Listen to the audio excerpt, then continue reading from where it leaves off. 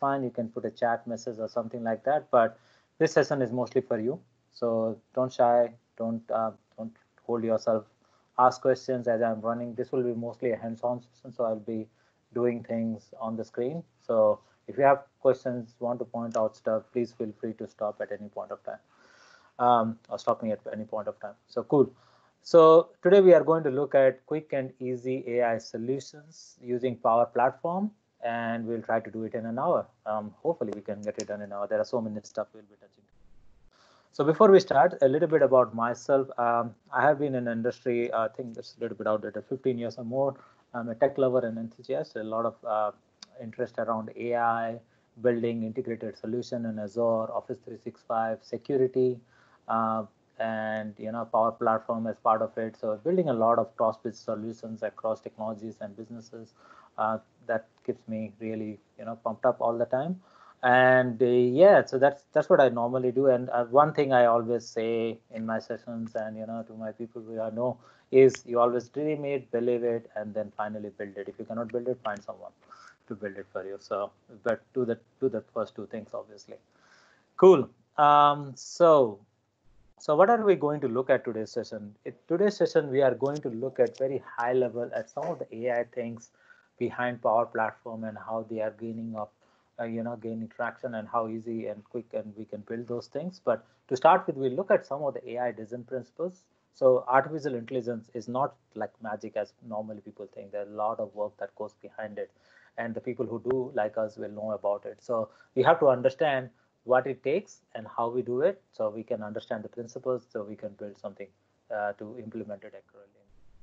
And then we look at AI in cloud platform, like how is AI simplifying the Power Platform? Well, Power Platform is simplifying the AI process, or it's the other way around. Um, and then we have the builder categories. So we look at AI builder and what categories they have and how we can use those categories. And then finally, we'll do the build session, which, which will be mostly uh, most part of our session today.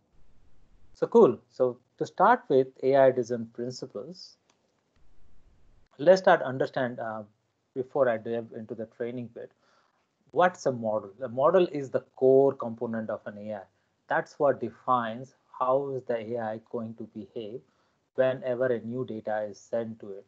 So your model defines, should I be looking at something? Should I be interacting or sorry, capturing any data out of uh, the information that is given to me, analyzing it, understanding what needs to be done. So it's basically like a data mapping and modeling exercise, which actually kind of defines the core of your AI. I, in one way, I say it's the brain of what AI does. So your model is really critical. You need to understand what model you are going to use, how you are planning to use it, and that's the starting point. Then the next bit is training. That's where you are actually starting to build that bridge of the model and the real data. So if you can, if you have an algorithm that tells that uh, finds the time of the day, it's not going to know, the AI is not going to know when to use it and how to use it unless you tell the AI how and when to use it. So you are going to train the AI and the model with data that is real, real data or a simulated of the real data. Now today's uh, in today's session, I have tried to uh, get as much real as I can, but I have used a lot of simulated data to train because know, I just don't have the numbers. So, and, and again, with training, it's a lot of numbers. And then you test it. You test that, you make sure that the AI is actually behaving the way you want it to behave or actually giving the output that you're thinking of. If it doesn't do that, then pretty much there is some gap and you need to train again. So this is like a cycle that you need to do. And at the same time, you have to look at implementing it so you can actually test and train, or you can go and implement and then train. So it's all possible in that circle. So you can actually chop and change at any one point of time and start doing the process from there. But the core is the model. So you need to start working on the model first before you start doing anything else. And then once you train, test, and implement, your AI loop is complete. Cool. So let's look at uh, some of the AI and Power Platform. Now, uh, when I do the session, I will drill into more into this so you guys can see this in working. Uh, and at that point of time, please feel to jump in and ask questions of any, any points that you wanted to ask. Cool. Um, now, the thing is about AI Builder. So AI and Power Platform is three core components. One is the AI Builder, which is the AI component that sits in Power Platform. Then is the apps and bots, which is the conversational bit, which is Power Virtual Agents. And then the automation bit, which could be Power Automate or Power Apps, where you can automate the processes because AI is just doing the analysis and the smart part of it. You still need to do some work around making the data validated and you know uh, doing the data entry and the data output part of it. So these are the three core components of Power Platform that work together to create the AI experience. So what are the high level steps that we'll be looking at or we need to do? First thing is you need to understand the process very thoroughly, I would say. If you don't understand the process thoroughly, you will have a hard time mimicking the intelligent part of it. And most of the times, with my experience, what people do is mimic the part. And in, in one example, you'll see that I have done the same. Mimic the part that is pretty much bare min uh, uh, that is pretty much possible through any other app. So if you are doing a AI for a data entry form, I think it's overkill. It's not really useful to create AI for a data entry form. Yeah, I know people say that oh, it's a bot, it's a you know a conversation medium. That's all good, but then the thing is, the idea of the bot is to actually gather the data that can be later used to do something smart out of it, not to just get data, not to get the data as a data capture and then store it somewhere, because that you can do through an app. There's no sense of building an AI into the you're just you're just overkilling the system. So understand the process really core. See the points where AI is really beneficial for the application or the system or the process that you are trying to build. And the core of it, again, as I was talking about it, the core of it is the model and the data that you need to use to learn. Ideally, the data may vary, and in some cases, Power Platform may say 15 uh, or you know five images, or this is all fine. But ideally, if you are talking about real, uh, you know, a complete model, and that does have 95% accuracy, you need to have a lot of data to train your uh, AI with. Now, that doesn't mean the hundred and thousands of data. At least 50 or 100 or something above that number will give you that confidence that, or you can train it as you are using it also. So this is a this is a cyclic process. So you keep keep doing that. Then you pick a model. So you you need to understand the process. You need to get the data with respect to the process so you can train your AI. Then now pick a model because there are so many models that even Power Platform gives you, and we look at some of those. Uh, which one is fitting your business scenario? Which one is trying to get that smartness into your system? Then you build and train. So as I was showing you, you build and train your AI model and you train the uh, model with real data or real enough data so that it can understand what the differences are. And then finally you publish and use it. So once you have done the four steps, you are ready to go. Cool. Um, now we will look at those steps in more detail as we are doing the build session and at that time, happy to jump in, ask questions. Uh, but keep that in mind, keep in the back of your, uh, you know, uh, thought process that these are the five steps that you will use. So what are the categories that are provided uh, in Power Platform or some of the categories that are available right now? There are more categories coming, but some of them. First is category classification, which is nothing but it means that if you give a, a bunch of text to it, it will try to put that text into a particular category. Uh, and we'll look at that example today. Um, so if I have a set of data that I'm getting, for example, I have a, you know, uh, kind of, I, I, it pertains to the scenario that I have, I think, but you are in a vendor shop or you are in a shop, for example, and they are getting feedback on their product. And then, um, you know, you are writing on the form what kind of feedback or your experience was in that, uh, you know, in that uh, department store or something. They will try to categorize the data into a particular fraction, like particular fraction of that department. Like you are in David Jones, they have a lot of different sections that, and you might have one form that you are filling, and you might write that the, uh, you know, the clause section were not good because you know I could not find what I was looking for. So that feedback needs to go to the clause section or the, you know, the the, the, the that unit of the business. So they need to categorize, and that where category classification can really help, where you are trying to categorize the data based on bunch of information that is provided to you. Then this is the most uh, you know relevant and more useful and a lot of people get attracted to it because uh, for that is from form processing form processing is nothing but it is a, like a pdf form or a scan form which is available and you want to take data out of it so the ai can actually read the data out of it you can do more out of it which we'll see in today's session but uh, this is the starting point where you can give a form to it and it can read the data out of it. Uh, just a note there, it can read only textual data. I was thinking earlier that it can read all sorts of data, but form processing is better with textual data. It's not actually supported any other object detection, which is supported through the object detection part of it, where it can detect an object. So if your form had a, uh, for example, a like a uh, graphic in there, and somebody has tick on that graphic, the form processing cannot recognize it. So you have to use the object detection, where object detection is like an image classification uh, system where you can give it image and it will classify the sections or components in that image and you know put parameters around it or metadata around it. And then finally is entity extraction. So which is basically like if you have given a bunch of uh, text to it like you can write a whole essay and you can be mentioning your you know your the location that you are going the the things that you are saying for example you sent out a feedback in tripadvisor and you mentioned all the places you visited and how cool they were or how bad your experience was. The entity extraction can actually pick those components out like the places and the feedback and link them together. Um, and the dates uh, well it will not take out the exact that's another one which i have not listed on it's called key phrase extraction which will extract those key experiences out of it. But entity extraction will take out the places and the dates and all those bits out of it. Um, i have not listed key phrase extraction because it's kind of given and, and i thought like pretty much that's easy uh, so there is another bit called key phrase extraction, and they keep adding more and more. So this this obviously gets outdated very fast. So some of the business cases and scenarios uh, is like provide ownership back. To the, why would you use Power Platform and AI Builder is provided you want to give the uh, requirement back to your business users. Don't want to spend too much technical uh, component on it, but the business document and flexible control for users and permissions. If, you, these are the cases where AI will fit the Power Platform and you don't need to create a big virtual assistant or similar scenario. Um, if you want to know what are the different options available, you can check out the video which I sent in the prerequisite about where I'm talking about smart collaboration. Um, and that, that will give you some context of what are the different options. And Power Platform is the one of the options which I say is the beginning of the journey. Some of the scenarios like financial reporting, inventory, asset management, booking and planning.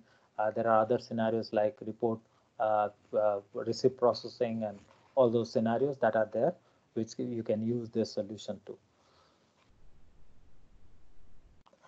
Cool. So how do we do it? That's the biggest question, right? We're trying to answer that today. So, so I'll jump back to my uh, uh, session, but at that time, I'll just take a quick look at any questions that are there. Uh, okay.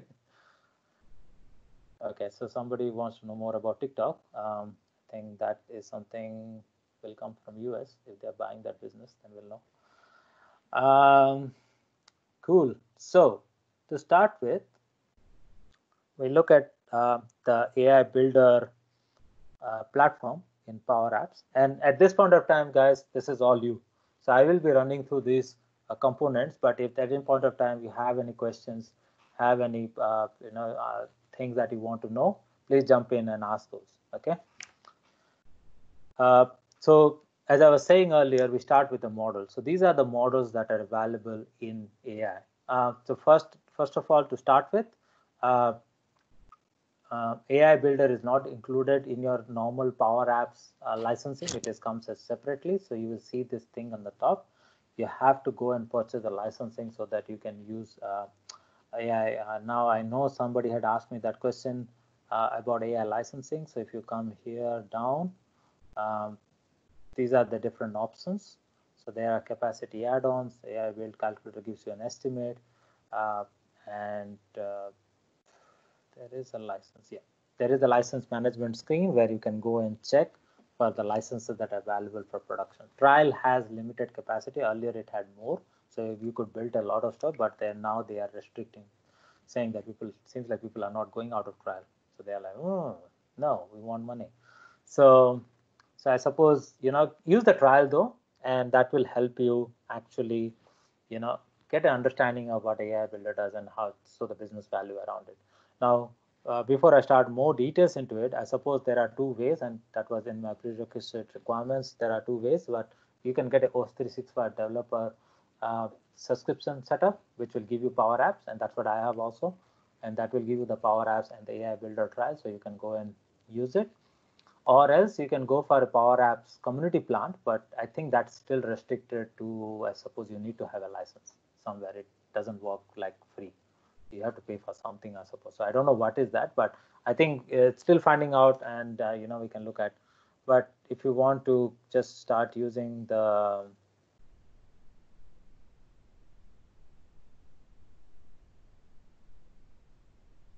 so sorry. I thought somebody was messaging on any questions. So you can go and purchase a license and then you can start using it. So it, it's not that heavily costly. It's a part of uh, you know the power apps uh, you know the power apps power app plans and you can start using it after that. Cool. So now once you have got that figured out and what you are going to do you can start with the trial at the same time. Uh, so these are the categories as I was talking about what your model can be built on. So the model is basically the business logic that Microsoft has already provided you. So you got category classification, entity extraction, form processing, object detection, and prediction. So you have to just think of what you want to use around it, and you can start with one of them. So for example, for today to start with, let's start using form processing. So if I want to create a form processing, uh, you know, system, I'll just go ahead and say it like so today, so the scenario that I will be running, oh, wait one second, sorry, I jumped on to the second bit. Before that, I wanted to mention that there are actually pre-built uh, uh, functionality that Microsoft has already given. So what they have done is taken all these models and given a solution already on top of it. So you don't have to train anything. You don't have to do anything. You can you can just start using it. So instead of you guys going and training and building, what Microsoft thought there are some common scenarios which I think everybody uses. So you can just start using it in your solution. You don't have to go and train and build because that's going to be generic across all platforms. So you can start using it. So for example, today we look at business card reader to start with. So if I go to my apps, I have a business card reader, not on this one, but on the other one. I have a business card reader scanner. So that's something like I just went ahead to my Power Apps, AI Builder, build, and I clicked on business card reader and that's it. And it gave me the app with the business card reader in it. So I just like started using it. So once you have it set up, what you can do is, and, and uh, obviously the card reader needs the metadata out of it. So I put that control and I had the metadata extracted out of it. Once you have put that control, you can just go and upload any card. So I'll just pick a card from one of the so I've got a one good friend in Valo. I'll pick his card. Um, I don't know if anybody knows him, but he's I think the Asia Pacific. Uh, so this is his card. So when I uploaded his card, I got his name, I got his job title, his website, and his phone number. Easy. So I didn't do anything. It was like 10 to 15 minutes thing. I clicked there. I got the app. I started using it. So you don't have to do a lot of work. It just one hour maybe of your time to set it up properly and there you go. You are ready to use it. So that's the starting point where you can use the existing available solutions out there and you can start. And same thing with category classification. If you go there they have already categorized some part of it and you can say i want to refinance my loan. So it will tell price and billing.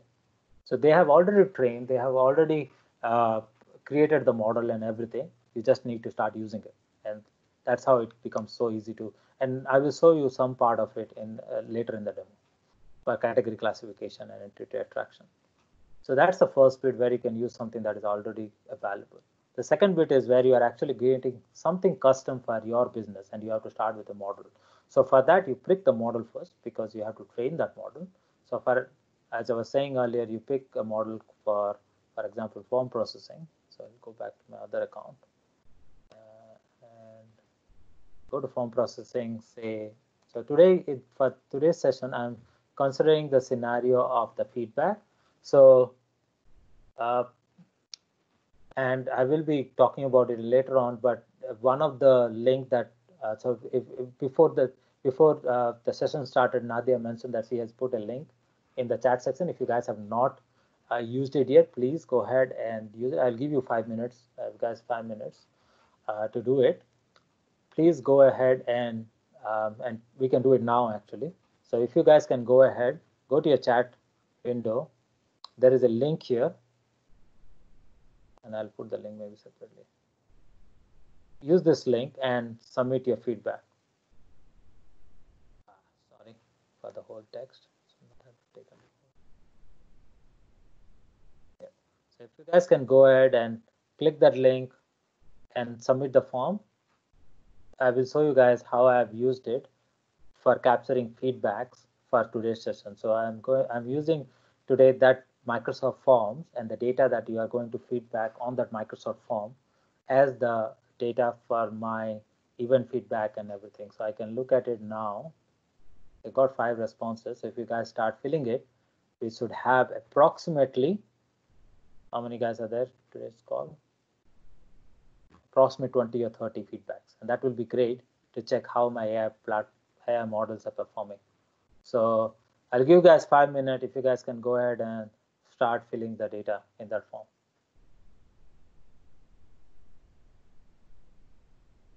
And there is two sections where I need some actual input from you, which is the uh, outline the use cases and feedback. And we will see how that is used later on to create some smart analysis out of it.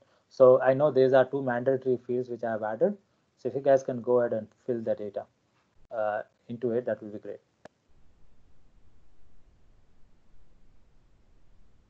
I got one response. Hopefully everybody has a you know mobile or a laptop that they can go and fill the form. Even mobile you can do it. It's quite easy.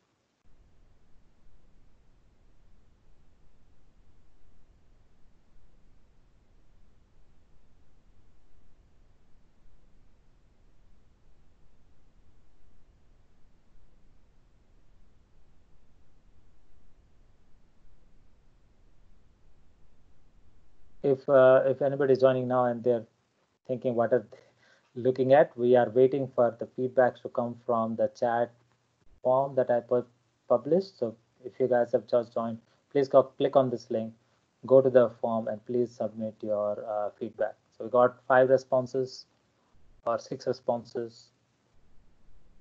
Expecting more to come through. 12. And the smart thing is Microsoft is uh, also coming with some AI logic here right now. So it can actually, in some time, will give you analysis report on top of forms directly. So you don't have to think about building a report on top. So it will just go ahead and do it. And I'll show you guys what it is doing at the back end. It is actually putting data into my test folder of the feedback that you are giving. So it is creating a PDF file of the feedback that you guys are submitting and putting it here, which will I'll use it to test my AI model. And also at the same time, it is also analyzing the data and putting it out in a list with some gradient on what the feedback is like. Now I've not trained it a lot, so I want to test it out how well it is actually performing. And then we will see that working also in some time.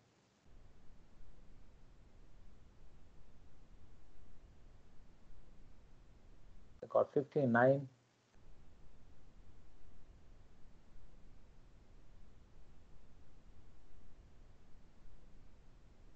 Sixteen. Suppose we got at least 10 or 15, oh, sorry, at least 15, 20 odd people. So I should get around 25. So it will not take too much time. It is just one or two minutes of your time. So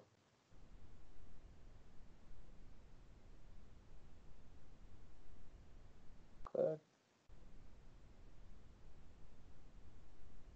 Okay, we'll just go have another two minutes for everybody to fill up that.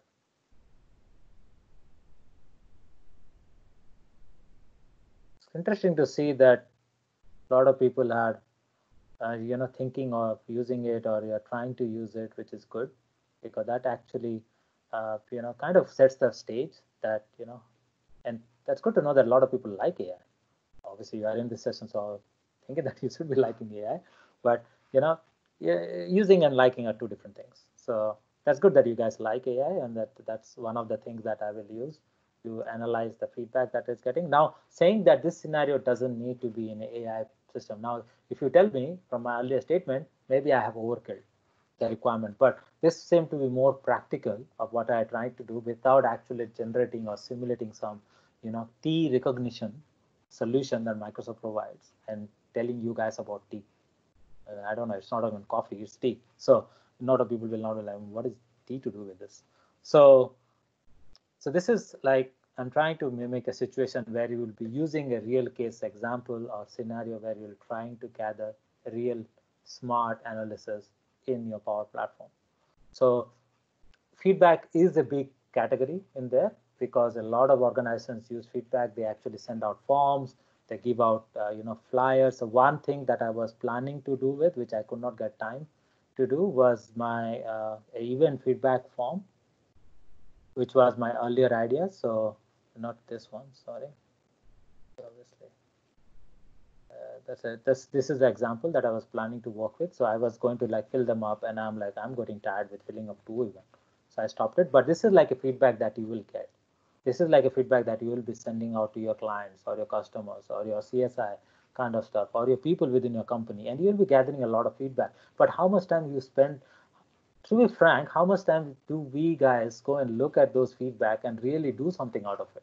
It's very hard because there are so much data in it, so much text and unless you have a dedicated team for it, you'll not even spend the time of doing it. But let's think that that situation can be now offloaded to an AI, which actually does it on the back. It actually gathers the feedback, makes smart analysis out of it, and gives you the result back in a format like a dashboard or something. And you can just look at it and say like, okay, this makes sense. Now, obviously, the Power Platform uh, dashboard is also, so the Forms platform dashboard is also available, but it's very analytical if you want to put some, and you'll see at some of them, like pick out keywords, put some, uh, you know, like a bubble, a graph on it. Uh, what do you call that? The bubble word um, uh, map on it, and then you can see which words are more uh, ringing with your clients or with your. Those all things will need data out of it. So that's where AI will become really useful. Cool. So I suppose we have got 19, which is good. So I, I suppose if you guys have not filled up, please do. But I think this is good enough for now and we will use that. So for the session, we will go and create a form processing. And what I'm going to do is analyze the PDF. Now, you might, when you look at the PDF, you might be like, uh, Asish is just faking it because this doesn't look like a feedback. But what I did is I actually created a lame PDF output uh, from using my flow. So just to show the scenario that if it can read, the AI can read a PDF. So basically what I'm doing is nothing but taking all the data, putting into a table, and then sending the table to a PDF. Now this is my, uh, you know, hacking way of doing it. Means you can have a proper PDF, but just know that you need to have proper text so that your form recognizer will work. Cool. Any questions? No? Okay, so we'll start with the form processing. What I'm going to do is event feedback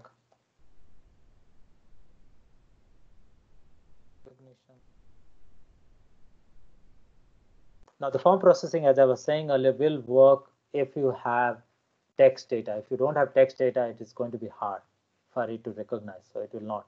So what I'm going to do is now add the documents. Now I can do a SharePoint thing. So I can go and click my SharePoint where my data is. I can go and click that.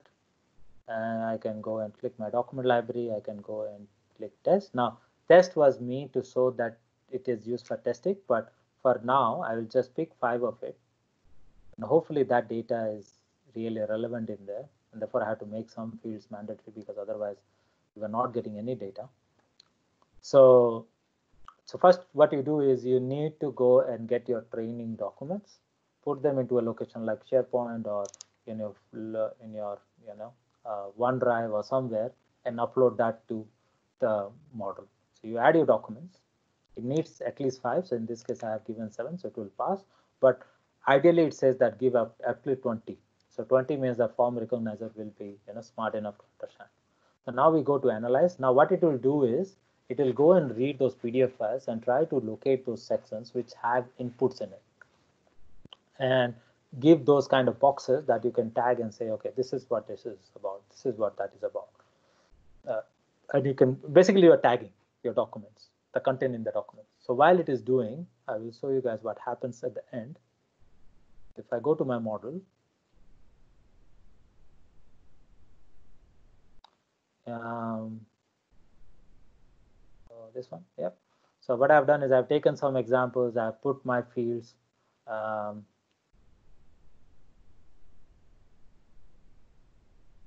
yes, done.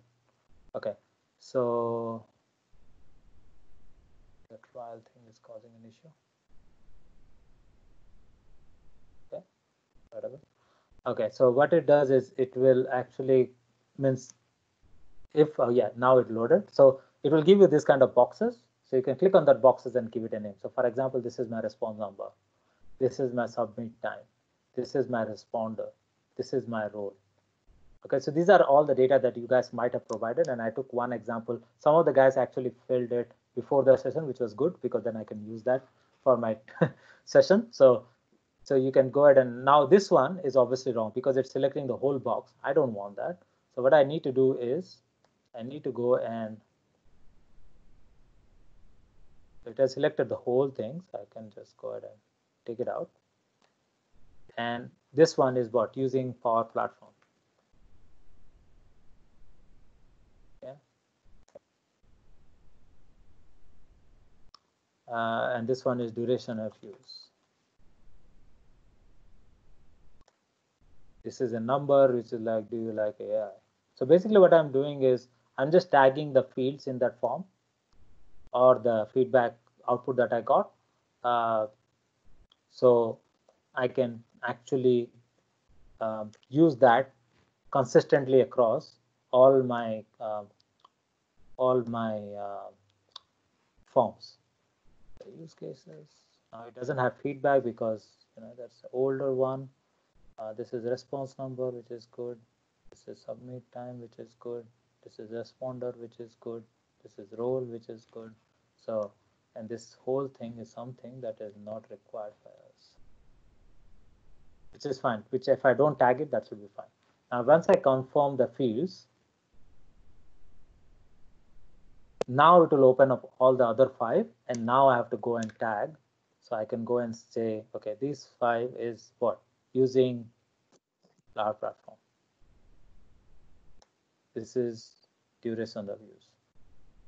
This is do you like AI? This is smart collaboration. This is use cases. Okay, so I do that for rest of the five. And once I've done that, let's hope my other one is already there. Yeah, it's already there. So it will take time, but you know, you understand the idea. So once you have done that, you can actually go ahead and do like next and it will go and analyze the documents, tag them and train the model. Okay, so once you have done all of those steps, your model will be ready. Uh, uh, as in my case, this model, it is ready and you can now uh, go, uh, go to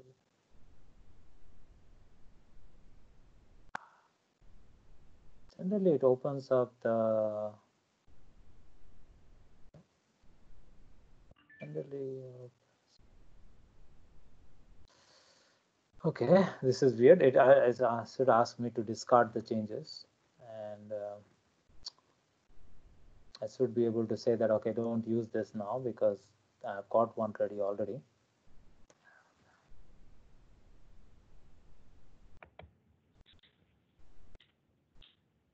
somehow this is blank.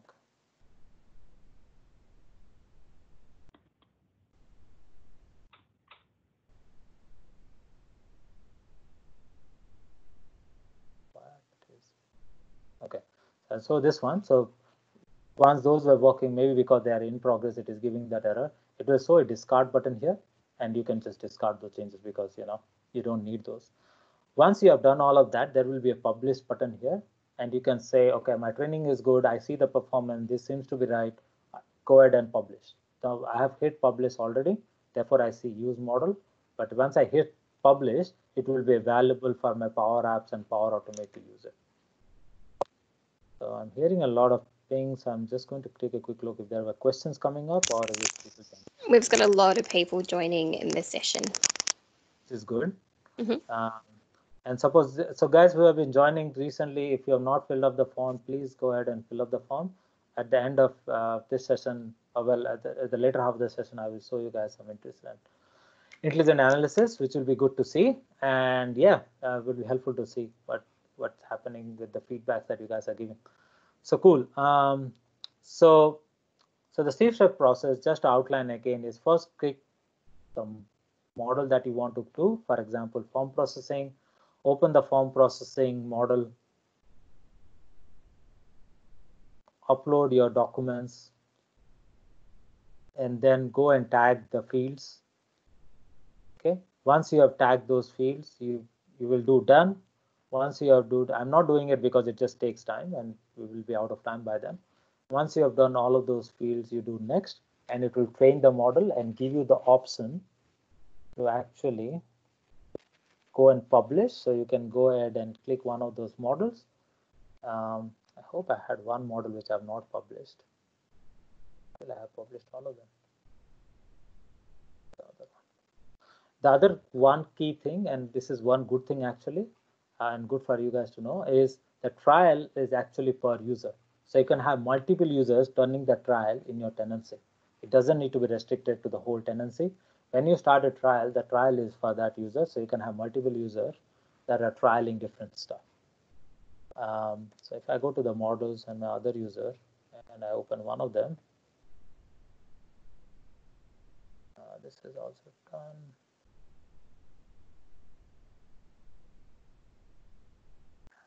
Thing is published. So yeah, so as you guys saw that, it should give me this kind of edit and discard draft. I don't know why is it not giving me another one. Uh, so pretty weird there. Uh, I have not started this. Anyway, so there is a publish button. Once you click publish, that will be used. So it will say publish here. Otherwise, the status will be trained. Okay, so none of them are trained, therefore. So if the status had been trained, once you open these and you say publish, it will go and uh, sorry, click clicking on the wrong one. Uh, you go and say publish, and then publish will let it be used by Power Apps or Power Automate. So once you have done the model, you are ready to use in the Power Apps, then you go ahead and create an app. What we will do is, okay, so I'll show you guys how it will look like.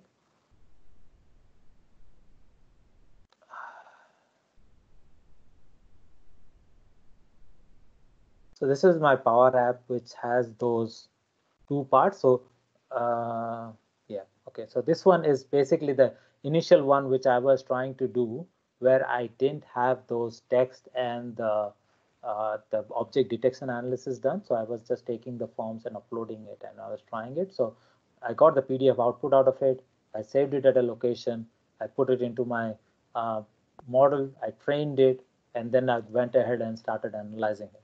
So I put the control and we'll see how to be done. But I put the control in Power Apps. I click, select the document that I want to analyze and I expect the data to be extracted. So what it is doing is reading that PDF file, and as you guys can see, it's actually putting probability. So what everything about AI is probability. So it's all about probability and statistics around what it is, you know, getting as a data. So it gets the data out of it by tagging those locations and train. So great that it could tag tag that location 100% so it knows. But when I was trying to extract the data, it was giving me both the text it was not highlighting me thinking about it. It was like, I want thinking about it. I don't want the whole thing. I want not yet soon, not the whole thing. So because this is an image kind of thing, because it's an object, it's not only text, it doesn't work. It will work well if you just have text in it. So this one comes out fine, that one comes out fine, but not the other bit. So I can get the role, get the required information, the business idea and response number. I don't know why it is wrong. And the duration, but I cannot get the uh, the uh, controls out of it. So this is the first case where you know you go ahead and use that in Power Apps, and you actually select the file that you want to analyze, and it will just. So for example, if you are in finance and you get a lot of receipts, you can create a AI kind of a kind of a model which will actually be good at, and that's what one of the Microsoft example is that to extract invoice data so you can just upload the invoices into it and it will extract the company name, the amount of expense, uh, the date, the invoice number, and all those stuff. So this is one of the examples where I use real feedback form, PDF outputs of it, and use it to train my model and worked. Now, to show you really, because that one didn't work, the other option is, um, go back here. The other option is actually di like differentiating the data. So as I was showing guys, one data is the PDF file that I generated because I read all the form output and created the PDF file out of it. So it, it was uh, good. Come on. Every time it's like, oh, this is my new account. I never tried it on this one. Okay, that's fine. Have to try. Ask it again. Not happy the first time. Just want to make sure I want to. Okay. So what I did is I broke the output into two parts. One was the text, which was getting from my feedback. So the feedback text was actually uh, what I was getting. And then what I did is I took the PDF output for the controls and train on one particular part of it, which I will show you guys. So analyze text data is where I'm analyzing the text output for the PDF files that are generated from the form uh, responses that you guys just submitted. So we'll just go and pick up one of those responses. So what I've done is I've synced one of the SharePoint libraries where the data is stored after my flow runs. And I'm going to pick one of the files from there and then we'll analyze the data. So I'm just randomly picking. And it has actually analyzed the feedback that it has gotten from it, and it is going to show me the feedback here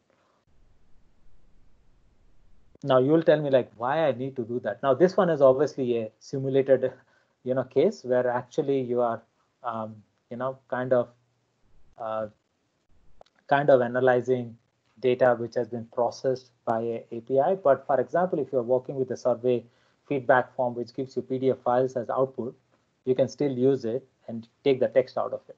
So I analyzed one, the response number, the person was CEO, which is good. So he can make the decision after the session let his team go and build some AI. That would be a good use case and really beneficial for this session. Love to do that. So hopefully, whoever is here, please after this session, um, you know, tell your team to start building one. So are you using Power Platform? No, which is sad. You are new, which is good. Your smart collaboration, you are considering it, and use cases are developer events. This is one real use case scenario. You can actually do it and be want to present on it also. So that's good.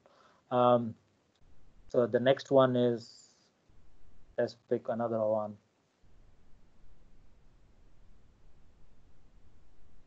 UVM engineer. Now, you know what? I can do this with forms also. I can go and do this and I can go and scroll. I can do view results. I can go. And this is what I've done. I've printed all this output into, you know, so I can go to 15 UM engineer. No, okay, I can look at it. I can. Look.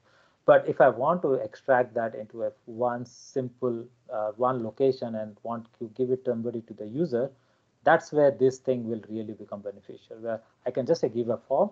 They don't need to see the nitty gritty of the form and the PDF output and everything. They can just upload the form somewhere and it will give me the response. So it is 15. So I'm engineer. He has not been using. He likes AI, which is really good. Uh, he is doing it now.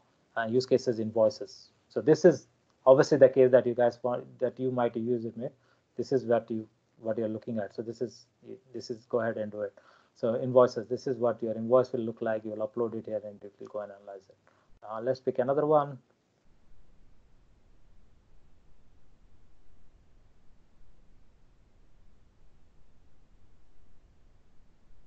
Now, I obviously use this data to train my model.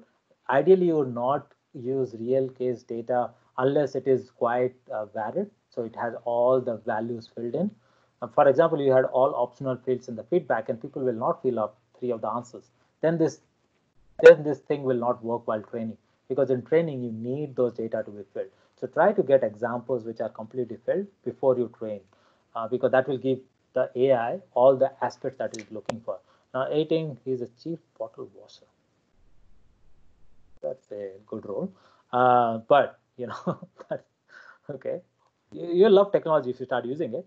Um, so you can you started using power platform which is good. There are some really good use cases of power platform across business scenarios so you can start. And yes you can use it for that. Yep. Uh, and you can do some smart prediction analysis. You can do predictions actually, like how much bottles you are going to get, how how what's your age, is it going to be enough for your whole week or not? So th those kind of analysis can be done through AI. That is a prediction analysis model which can do that. So cool. We have looked at some of the analysis data, and then we look at one more before we jumped into Power Apps and see how it is done. Now, obviously, as I was saying, there was a problem with this controls, right? So I cannot take the data out of the control and show it. So do you like AI? That one was not processing well in my earlier example. Not in the one with the text, but one without the text. So what I have done is I have actually take the location directly. So it's of nested and I keep forgetting. So if I go there, ah, no,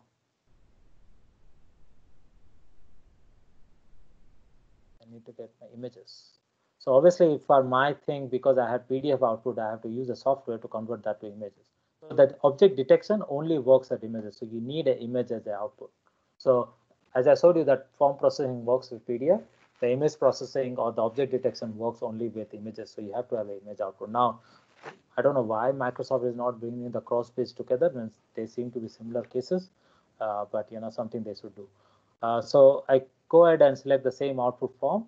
And now in this case, because I'm doing image processing and I'm using the same control and my metadata was like positive because it's more than three, negative if it's less than three, and neutral because you know it's three.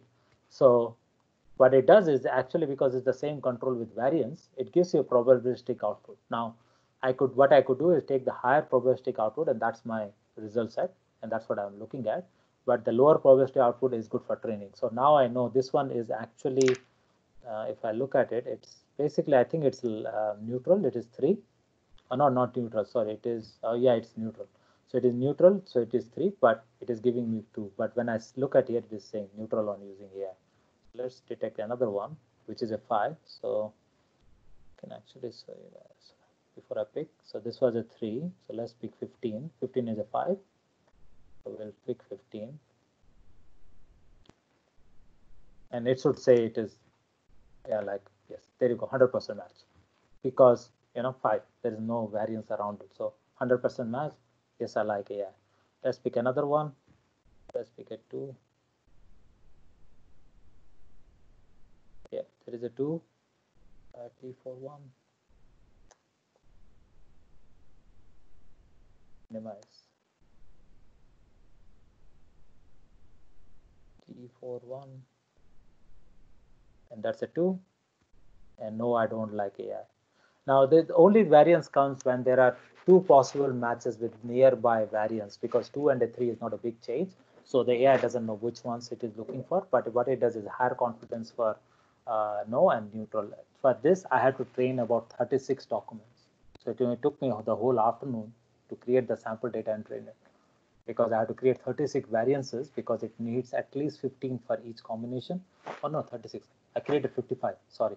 So I created 55 documents because it needs 15 for each, so 45 at least, and I gave it a little bit more. And once I trained it, it started understanding. So for that, what we are going to do is actually creating. So I'll show you guys the model for that.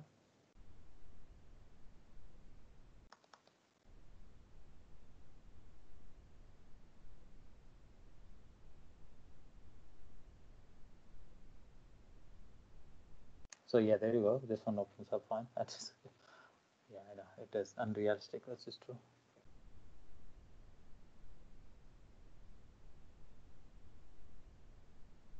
Next, oh, 47 images. Yeah.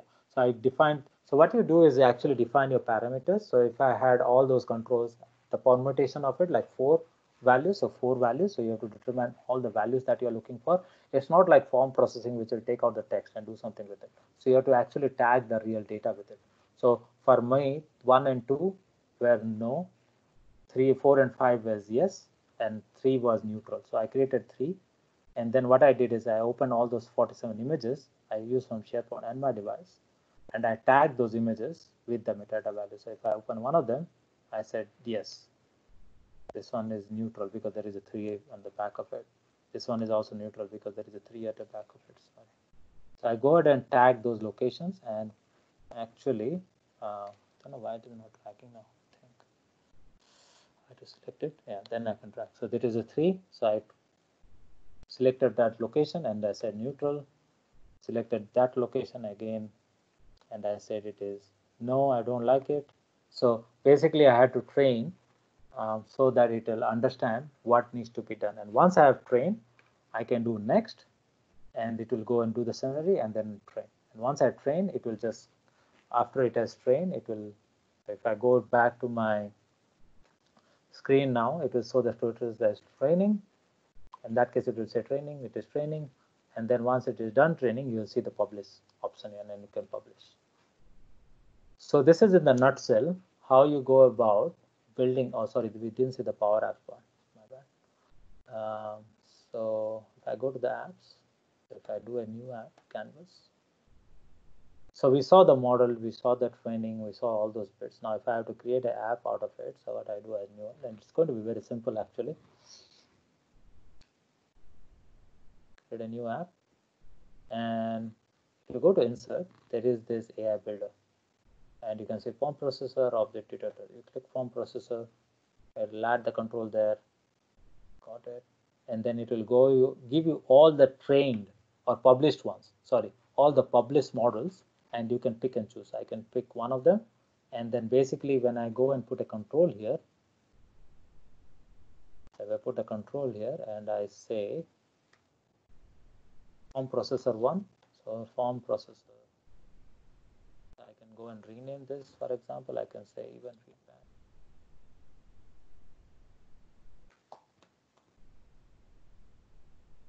Go back to your control. So this is all Power Apps now.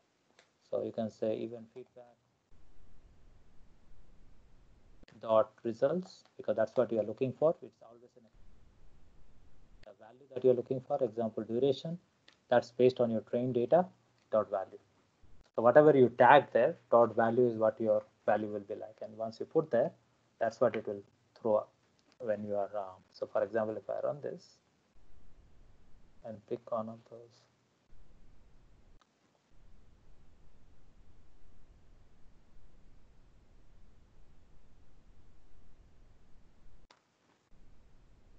replies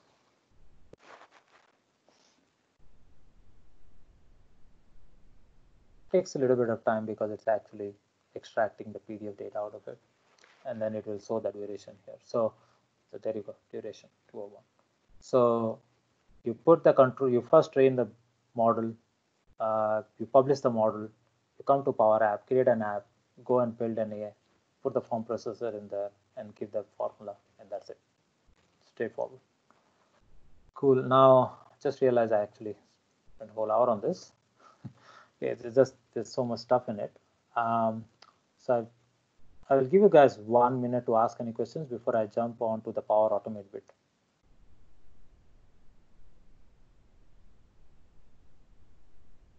Any questions, any thoughts? Uh, we can put it in the chat or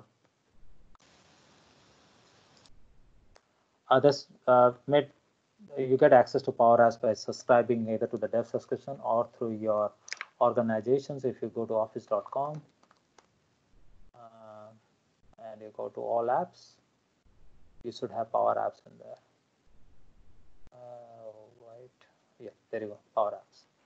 You can log into Office 365 if you have Office 365 subscription, or you go for a developer license or community plan. So it should be in my prerequisite email. Yep. Anybody else? Questions? Good. Um, well, I'll give guys, you know, 15 minutes after the session and you guys can ask more. So cool. So we come to the Power Automate. Now, Power Automate is nothing but a backend logic that runs and does the work, right? So in Power Automate, the scenario is slightly different. What you do is you're basically sending the data to Power Automate and let it analyze. Now, as I was telling you guys, you guys gave me those, uh, you know, feedback, and this is what I generated out of it. So what I'm doing is I'm actually analyzing the form responses, sending it to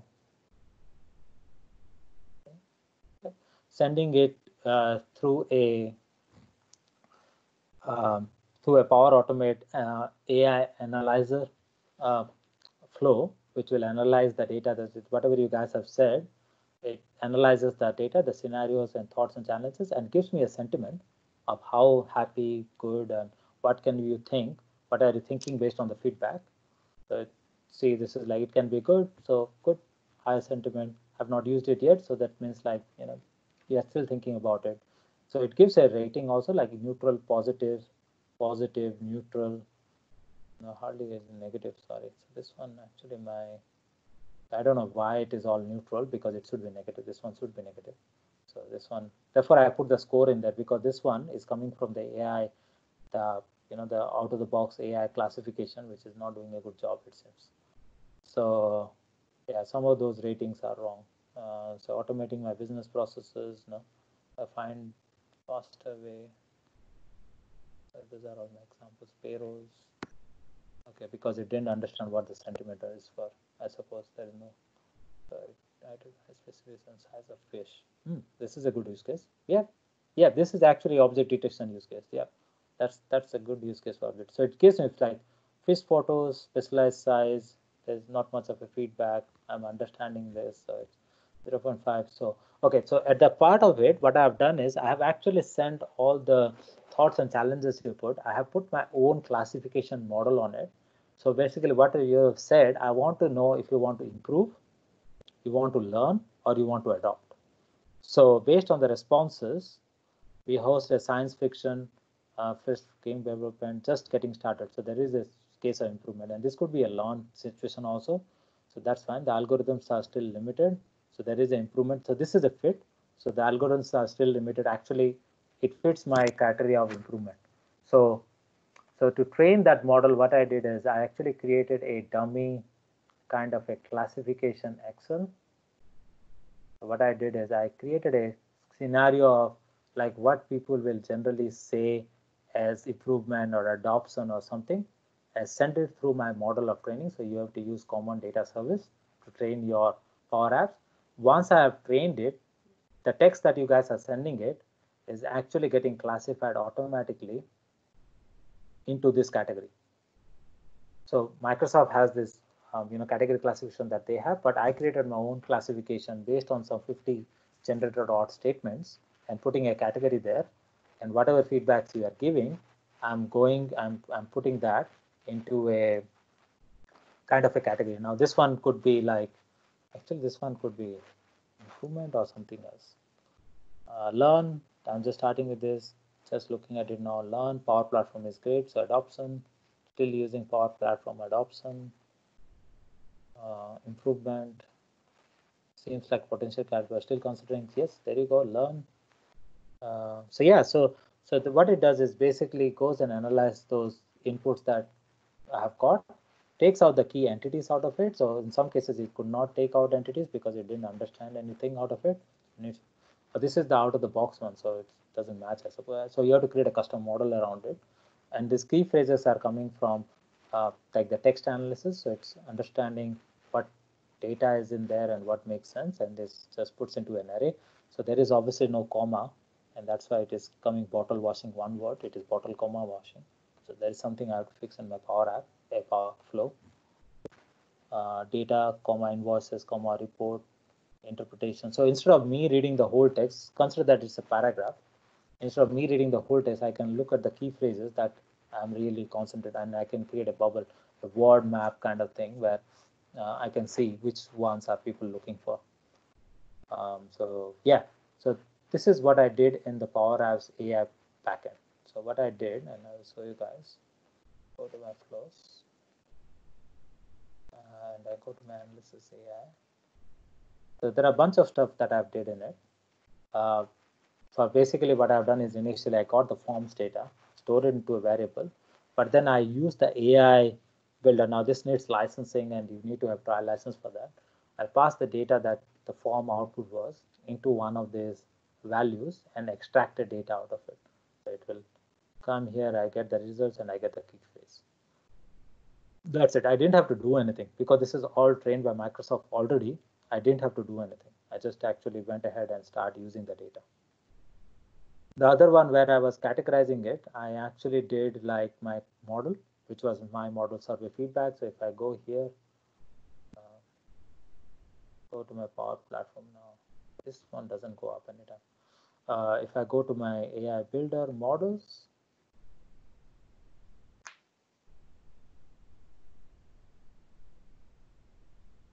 I have a survey feedback model, which I showed you that Excel and I trained it.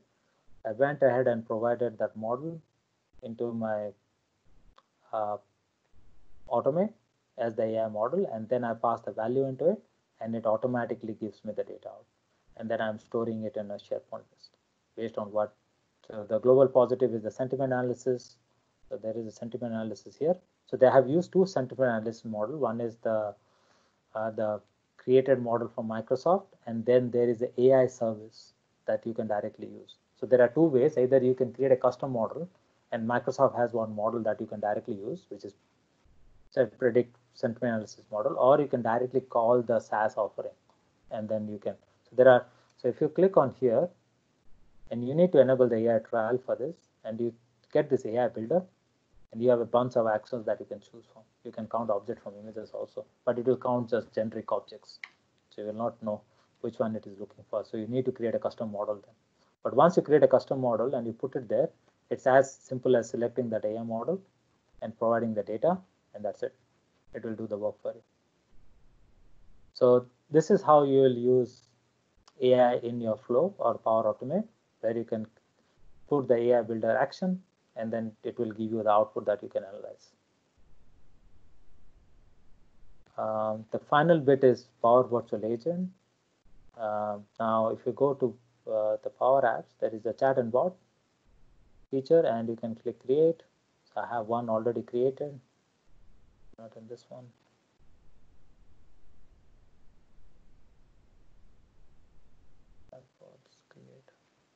I have already one created. So I have this Power Virtual Agent, which is like the out of the box one. I have not done. What I've done is I've added. So in Power Virtual Agent, everything is a topic. So you define the topics that you are going to work on. So product offer, I want to buy something. And once you create a topic, you provide the keywords that user are going to provide.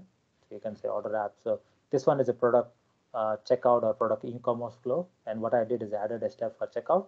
So if I come to my Power App and I say checkout as a command, or I say finalize my order.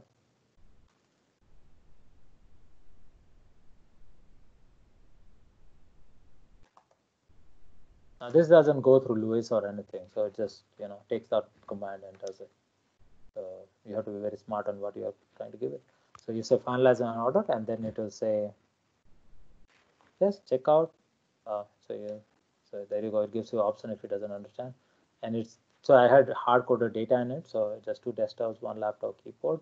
I want to proceed to checkout. What it does is it actually posts a link. It gets it sends an email to the procurement team.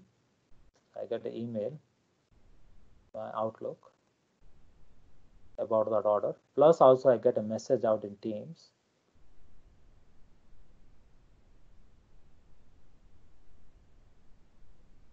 So this is like a product order scenario. So uh, supposedly you had a team who does the procurement and they have a teams and the email so you can send them a formal email saying that the product has been ordered so the order is confirmed you know these are the order cost value. so it sends and you can go and click and get more details or it puts a message out in your teams channel about so how did i do that is i've created this uh, trigger phrase or this uh, topic called checkout and then i did um, sorry I go to the authoring canvas. So the authoring canvas is like a switching logic. So you can switch based on like, you know, order details, get that order number, purchase, customer. Uh, these are the details. So, and then based on if they confirm yes, I'm going to put it in a Power Automate. There is a Power Automate order processing flow. So once you are in Power PVA, it will give you an option to create a flow out of it. And once you create the flow, you can get the data out of Power Virtual Agent, provide the inputs, and just do the other stuff as you normally would. You just put the data and then you can return value back to the, you know, the Power Virtual Agent. So if I go back to my Power Virtual Agent,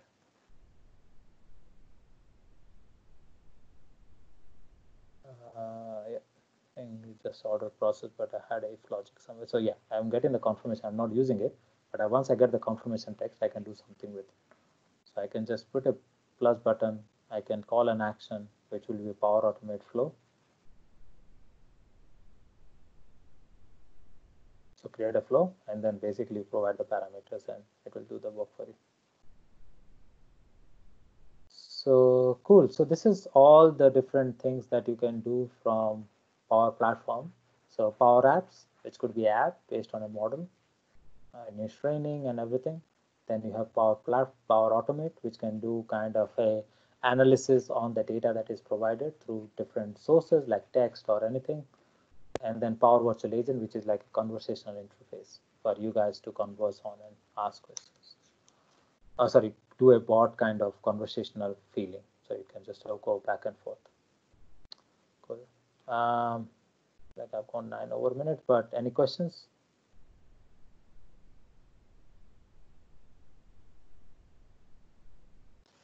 You can feel free to um, jump off and use uh, your audio as well if you have any questions for Asish.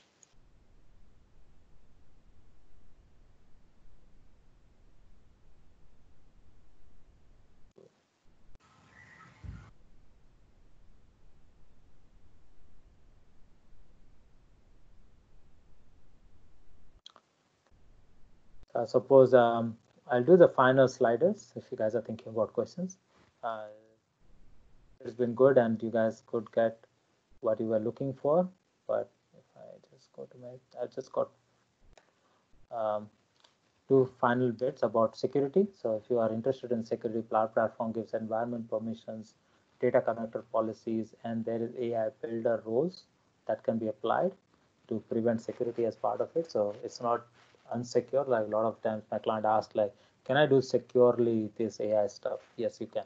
So there is authentication and security on built on top of the solution. Uh, these are some of the helpful resources. This slide deck will be on my blog site. Uh, my blog site, I think if you guys, uh, or it is on my next slide. Um, blog site is asishpadhy.com. Or you guys can link me on Twitter or LinkedIn. But um, if you go to my blog, there is a uh, location for helpful resources. So if I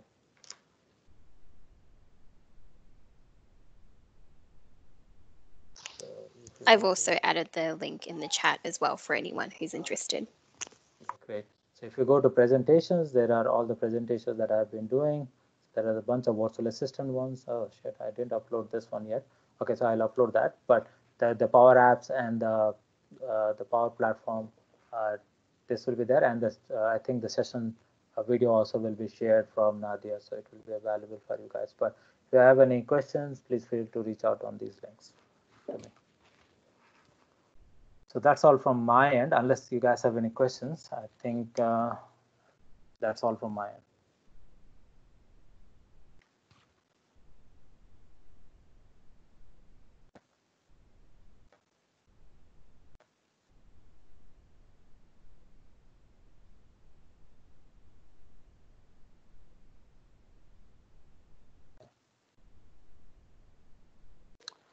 Okay, thanks everyone for joining today then.